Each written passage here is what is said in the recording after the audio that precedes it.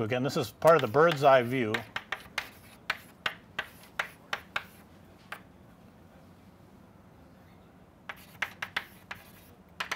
And um, I want to talk about hardware.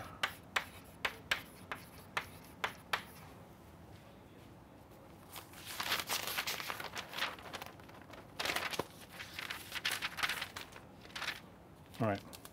Um, so one thing to talk about is displays.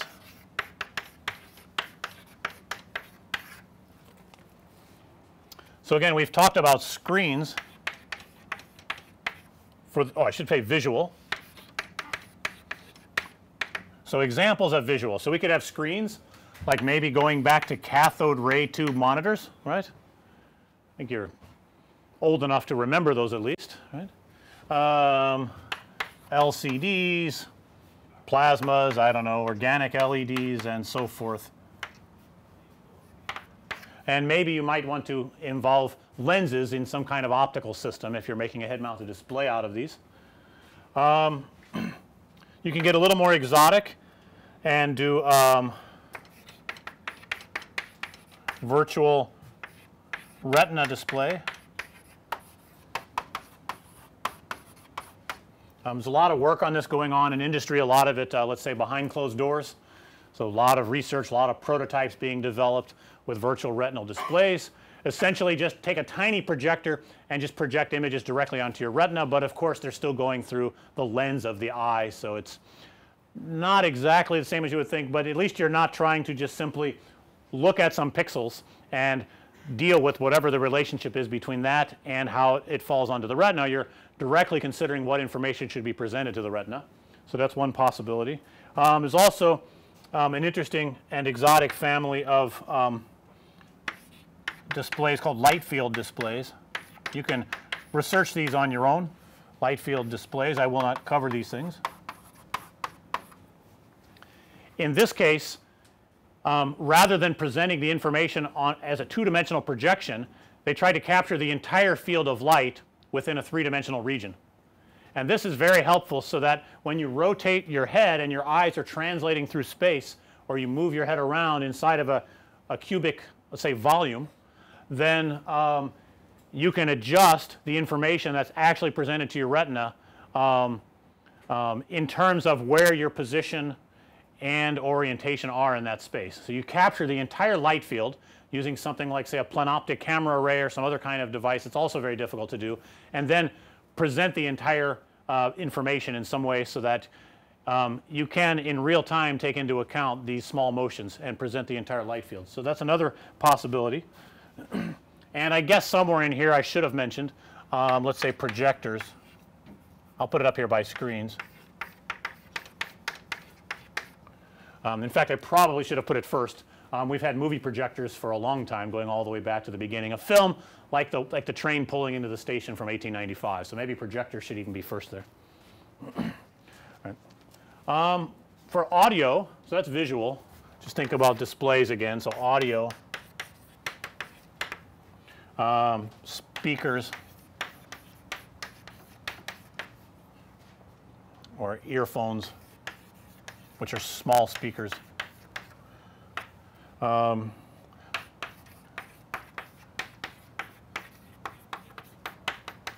you can fool your audio sense by bone conduction as well, right, some bone conduction audio techniques. Um, touch. So, there are what are called haptic devices.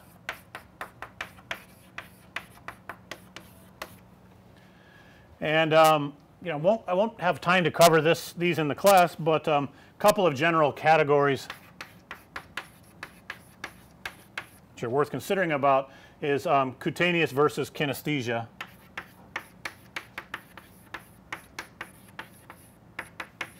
It's a nice way to divide these up. Um, an example of the first one is maybe I just get some kind of vibration as a kind of feedback right. A rumble pack in a, in a, in a game controller would be an example of that. Or maybe my motions actually get blocked. I feel a resistant force. Um, there may be a robot on the other end pushing back at me, right, and providing the right uh, force so that it feels like I'm touching a wall. I keep getting stopped every time I put my hand out, right. But maybe a, a robot hand that's touching mine let's say. Um, so that would be an example of kinesthesia. So, um, so you can provide this kind of feedback as well. Um, and as far as going into smell or taste or vestibular stimulation, I guess I won't uh, include too many examples of that, but there, there certainly is ongoing research on those as well, providing the right um, uh, chemical feedback um, to trick your, your sense of smell or taste. And there's electrical stimulation of the vestibular organ that's possible, but I, I don't recommend trying it. So it's um, very painful from what I hear. All right. Um, other hardware you might think about inside of hardware. Other hardware, of course, we have computers on, on use and we have graphics processing units. Let me just kind of, you know, just to kind of list off everything. Computers and GPUs inside of there. So let's say CPUs and GPUs. And I should also say that there are uh, inputs and in this case um, maybe something like a, a game controller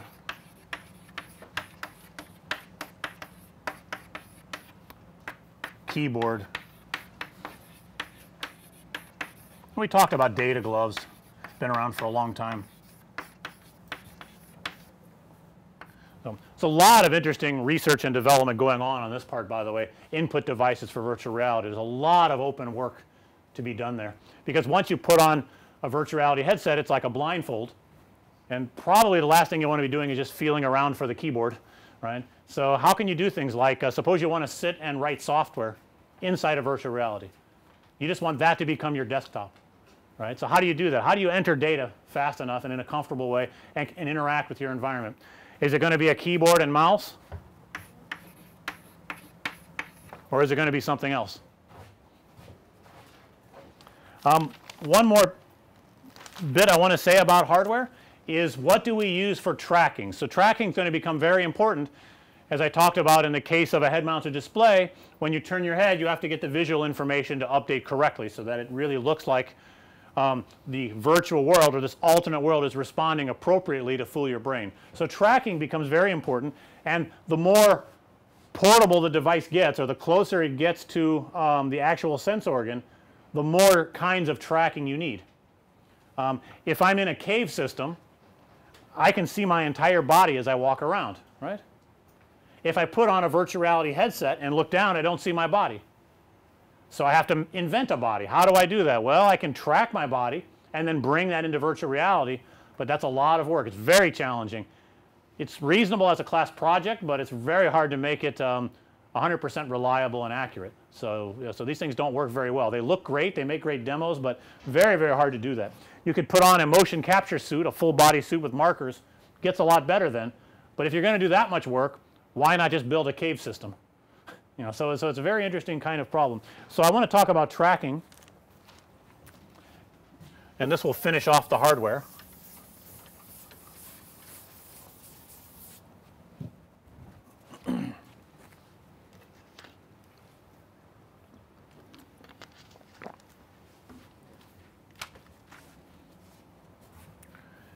Where's my chalk? Okay, let's see. I'm leaving it there. All right. Um, tracking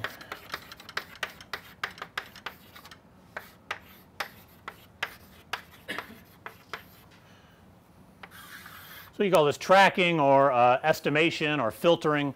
So people in electrical engineering will tend to use words more like that. Um, one of the most useful components is the inertial measurement unit.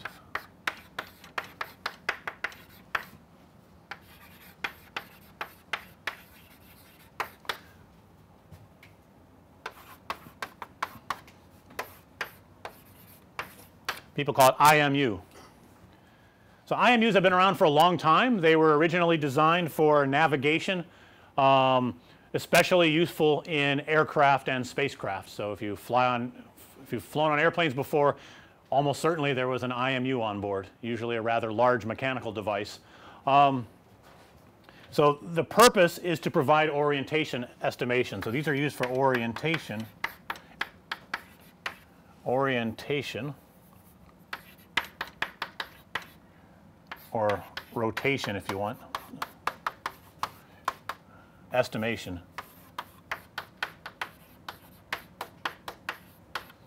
And so that's their main design. What it measures is 3D uh, angular velocity and 3D linear acceleration.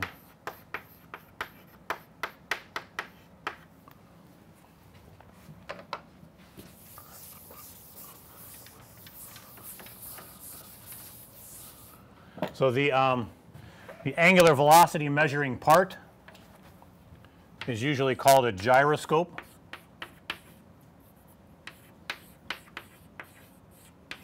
Sometimes people refer to the entire inertial measurement unit as a gyroscope. I think that's not quite right. And this part is called appropriately an accelerometer.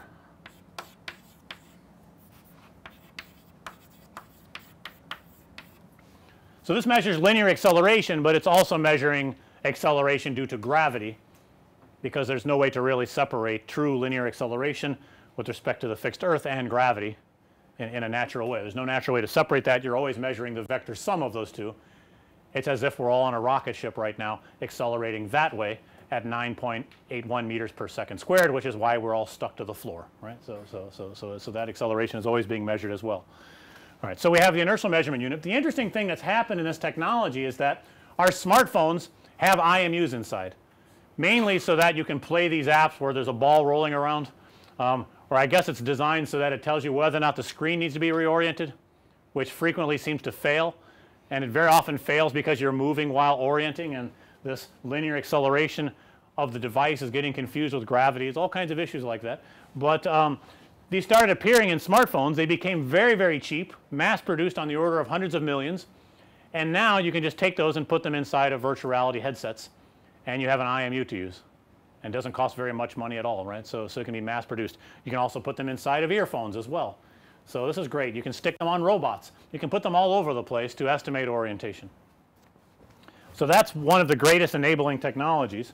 And one thing that's very closely related to the inertial measurement unit and is sometimes considered a part of it is magnetometer,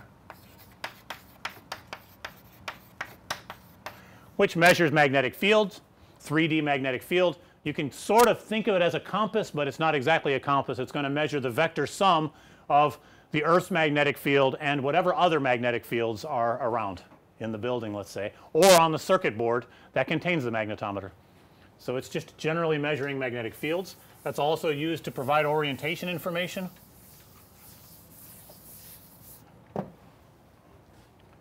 Other hardware, um, cameras have become quite useful. You'll notice on the, uh, the DK2, Oculus DK2 um, used in the lab, there, there's, a, there's a camera. So that's being used as part of the tracking system as well. And when you use cameras, there's generally two different kinds of ways of doing tracking. The names are inside out and outside in. Um, honestly, I, I, I, got these, I found it very confusing. It took me at least a few weeks to, to keep them straight. So I, I don't know, but these are the terms that are used. Um, so in the inside out case, you're, this is a top down view. You're wearing a headset and there's a camera on it here let's say and then there are some markers in the physical world I'll draw markers as pluses features or markers so they see these markers and so based on how these markers appear to the camera that's fixed to the headset you can figure out where you're at these markers could be engineered or it could be using natural features from the environment if you engineer them yourself then you get very accurate very reliable performance if you just extract them automatically it makes a fun project, but it's and, and an interesting demo maybe, but it's very hard to get perfect accuracy and reliability or very, very high accuracy and reliability like this. But nevertheless, either way, this is inside out. The other way is outside in, which is what happens in this Oculus Rift DK2 case. Can you have the head looking straight down? You have the uh, headset on. And then there's the camera out here looking. And so these uh, features draw them in another color here so we see them are on the headset itself.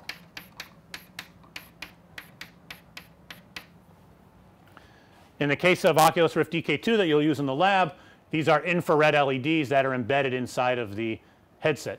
The plastic is infrared transparent, but in the visible spectrum it looks black. So, you can't see the LEDs, but they're inside of there. So, so in this case it has markers. So, this is outside in. In other words, the camera is outside looking inward and in this case the camera is inside the headset looking outward.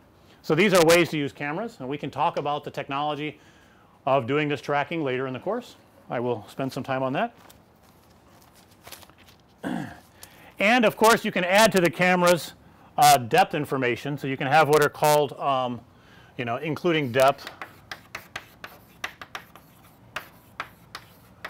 like information provided by the Kinect using current technology to give you what are called RGBD uh, sensors right giving you color and distance information. So, there's cameras for that and those are going to be very important in the coming uh, few years. As the cost of those goes down, the reliability goes up, the accuracy improves. Um, there's going to be more and more technologies that use uh, depth cameras for various kinds of tracking. So, you put all this together there's also more methods that use electromagnetic fields or magnetic fields that are generated by a base station and you can do tracking that way. Um, one thing to think about throughout these tracking technologies is what do you need to track? Track your head, track your eyes, you want to track your entire body? Do you want to track an entire room full of people? Right, all kinds of things you think you want to do. Um, and you don't necessarily have to do that. For example, I'm giving a lecture today and um, I can only look at one of you at a, at a certain at a time, right? If we were all in virtual reality doing this lecture, I could be looking at all of you at the same time. Each one of you would see me looking directly at you, right? So, so, so you don't need to have my head tracked perfectly. I need to have my head tracked perfectly, I guess, to have the display work correctly but I don't need to have where my eyes are looking tracked perfectly um, in terms of what you see. I could just make it so that I'm always looking at you so that you're always paying attention to me. And you get the feeling individually that, that, that you're being looked at, but really I, I can't possibly be doing that. So, there's cases where you do not want to provide the exact information that's going on in the real world. So, you really have to think about these things carefully and there's always a cost involved and accuracy issues and comfort issues. Again, if, I, if you're tracking the body and it looks like my arm keeps breaking and bending in, in, in a backward direction, that's not comfortable, right? It, it, it's, it's torture of some kind, right? So, so if your system's not working reliably, it's probably not worth doing, or you have to assess is it really necessary? If it is, then throw all the resources you have into it and make it work, but, but it might not be. Even though it might look cool, might not be necessary. All right, so that finishes the hardware part. I want to talk about the bird's eye view of the software. Are there any questions about hardware? Again, this is very high level overview. I'm going to go into more details of these things. In fact, I'm covering the fundamentals. So by giving these examples, you'll be able to see more of why I'm jumping into various fundamentals.